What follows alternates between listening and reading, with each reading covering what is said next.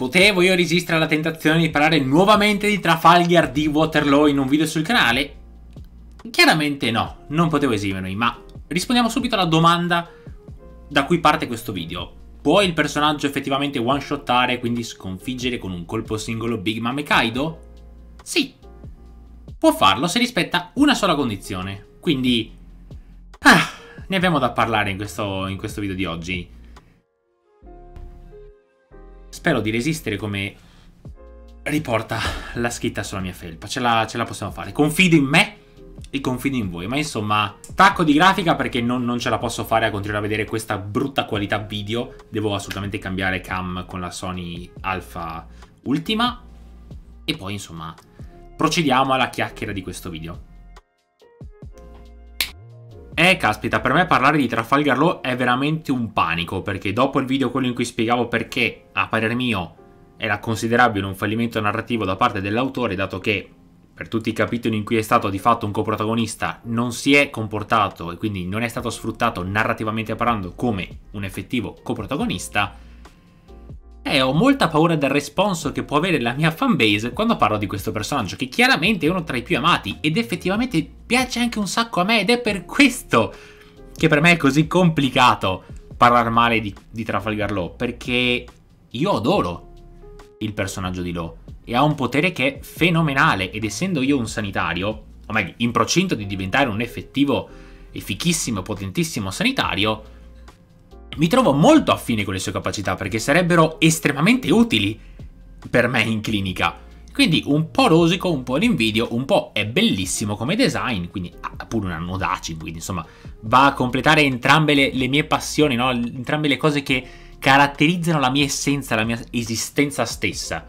Le spade giganti e il fatto che ha poteri medici incredibili. Ma d'altronde anche nell'opera il frutto Ope Ope è considerato come il frutto del diavolo definitivo, e questo perché ha tra le varie la capacità di donare, diciamo, l'eterna giovinezza, che possiamo interpretare come una sorta di vita eterna, chiaramente in cambio della vita dell'utilizzatore, ma comunque una capacità a livello medico che è strabiliante. Tornando però al topic effettivo di questo video, perché dico che Trafalgar Law con il suo potere, ora che la battaglia impazza in quel della cima del tetto di Onigashima, potrebbe effettivamente sconfiggere Kaido e Big Mom con una sola mossa. Per comprenderlo, serve semplicemente fare affidamento a quelle che sono le capacità che già conosciamo del suo frutto. Capacità che purtroppo è da Dressrosa che dico possieda, è da Dressrosa che sappiamo possieda effettivamente, ma che non ha mai utilizzato con questa applicazione tecnica. È chiaro, c'è una ragione metanarrativa per cui non può utilizzare questa capacità, o meglio per cui Yoda non gliela fa utilizzare, ma rimane il fatto che poi a livello potenziale lui può effettivamente one-shottare Kaido e one-shottare Big Mom all'unisono. E sapete come si chiama questa capacità, se volessimo parlare con un linguaggio un po' più tecnico? Si dice che ha un potere rotto! È rottissimo l'Ope Ope. Ora facciamo un piccolo recap di quelle che sono le abilità che ci servono per andare a fare il nostro costrutto, no? per andare a intavolare questa struttura architettonica di elucubrazioni, insomma passo dopo passo. Ora vi ricordo che l'Ope è un frutto di tipo paramiscia e la funzione base che possiede è quella di andare a creare delle room, che non sono altro che dei campi di azione sferici. E il possessore, quindi in questo caso Trafalgar Law, dentro questi spazi, dentro alle room, ha il completo controllo sulla posizione degli oggetti che sono dentro di essi situato. Dal momento che Trafalgar Law è anche uno spadaccino, riesce a utilizzare quella che è la sua spada come una sorta di bisturi, essendo di fatto un parallelismo in ambito medico. E se tendenzialmente con il suo potere quello che cerca di fare è creare una sorta di confusione proprio a livello di campo di battaglia, quindi andando a invertire le posizioni degli oggetti o delle persone, o addirittura cercando di debilitare gli avversari tendenzialmente definibili fodder, quindi gli scarsoni se vogliamo dirla all'italiana. Quella che è un'applicazione molto più interessante e che tornerebbe molto più comoda in questo caso è un'abilità che lui utilizza banalmente per spostarsi in modo rapido. Perché tendenzialmente al di fuori del combattimento, ma per assurdo anche qui a Wano Kuni, proprio a livello di combattimento vero e proprio, per schivare i colpi o per spostarsi più rapidamente, quello che fa è scambiare la sua posizione con qualcun altro o comunque con un oggetto per raggiungere ciò che normalmente sarebbe fuori dalla sua portata e questo appunto per una questione di velocità fisica. E se consideriamo che lui di fatto ha questa sorta di teletrasporto in cui switcha il suo corpo con quello di un oggetto incurante poi di quelle che sono le masse effettive da spostare, perché lo vediamo molte volte durante l'opera che lui riesce a fare una sorta di switch in e switch out tra il suo corpo e dei sassolini che chiaramente non hanno la stessa massa, non hanno la stessa forma, volume, chiamatelo come volete, vuol dire che lui può teletrasportare due oggetti indipendentemente dalla differenza di volume o di massa o di densità. No, non segue nessuna limitazione fisica, non, non c'è questo problema. Un po', se vogliamo, come fa il personaggio di Nightcrawler nella Marvel.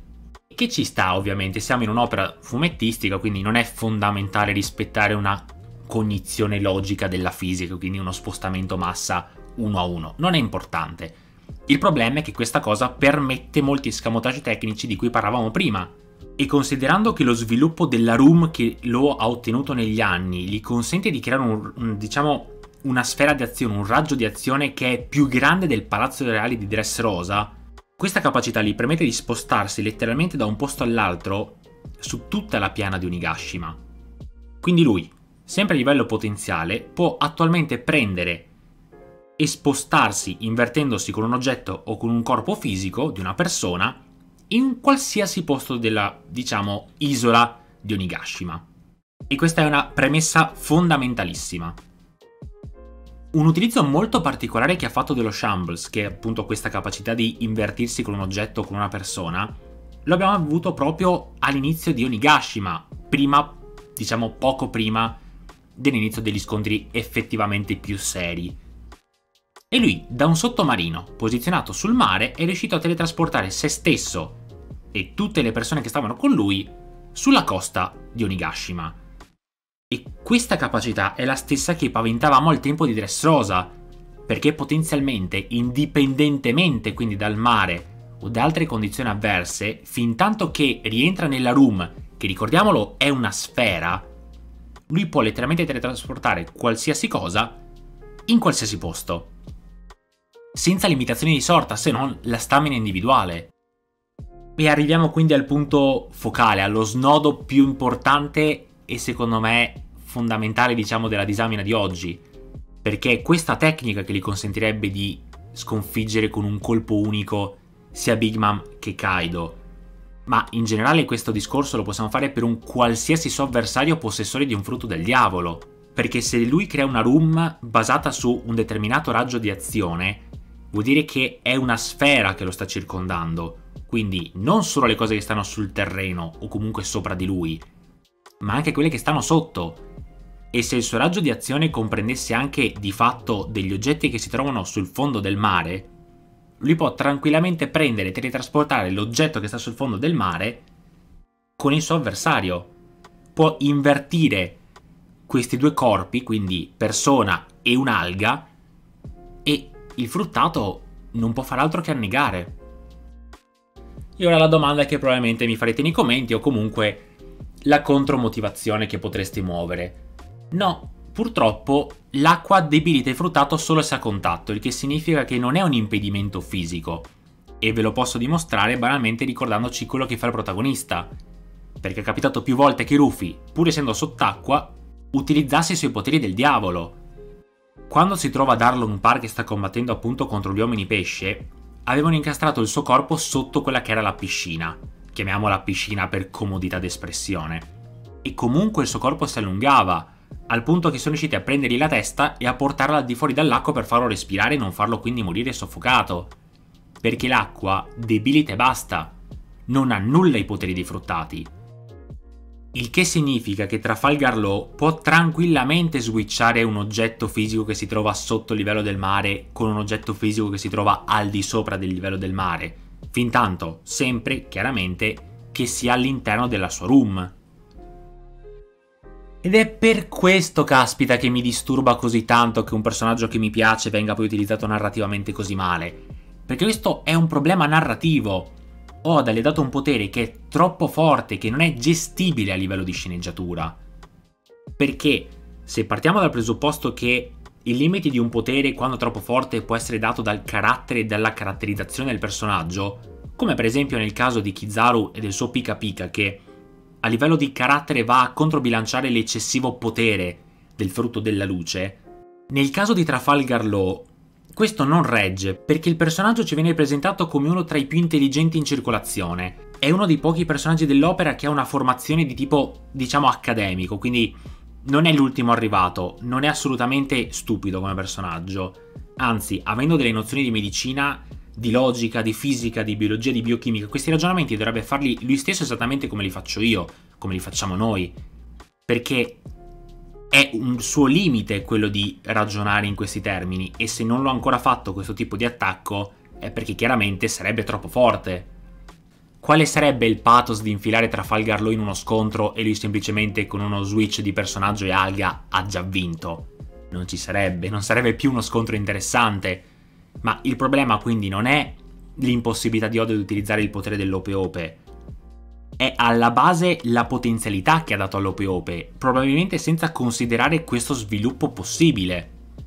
E un limite di Oda a livello di caratterizzazione primaria ha fatto sì che si sviluppassero questi, diciamo, definiamoli controsensi anche se non sono controsensi, sono delle limitazioni autoimposte. Potremmo definirli così effettivamente. Chiaramente, ripeto, a livello narrativo Oda non può farlo fare.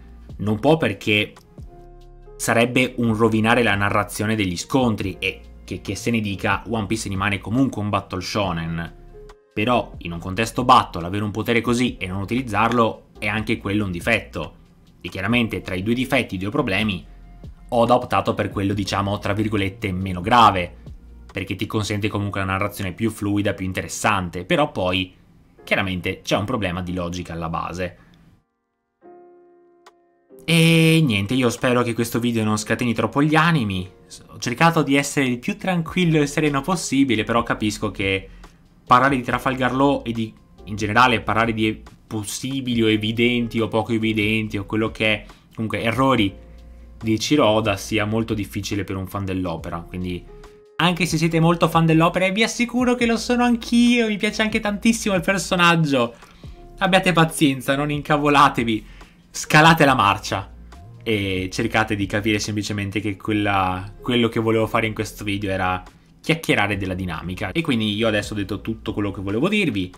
Mi rifarò e vedrò cosa avrete voi da proporre nei commenti. Quindi fatemi sapere la vostra opinione come sempre qui sullo spazio commenti di YouTube o sulla discussione ufficiale sul gruppo chat Ronin su Telegram. E se questo video vi è piaciuto lasciate pure un bel like per supportare il canale. Vi faccio presente che questa sera alle 9.30 sarò in live da Daily Mello sul canale Redazione Sottocultura su YouTube e che domani dalle 12, quindi da mezzogiorno fino a mezzanotte, quindi alle 24, farò una maratona live su Twitch.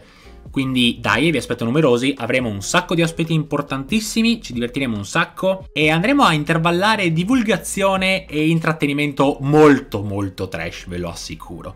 Avremo molte cose da raccontarci e da ridere, insomma domani non vedo l'ora di, di essere in live. Sarà, sarà divertente e sarà allo stesso tempo un panico. E vi ricordo che dalle 10 fino a mezzanotte la live sarà aperta a tutti quanti, quindi anche voi potete entrare ospiti e parlare con me del più e del meno.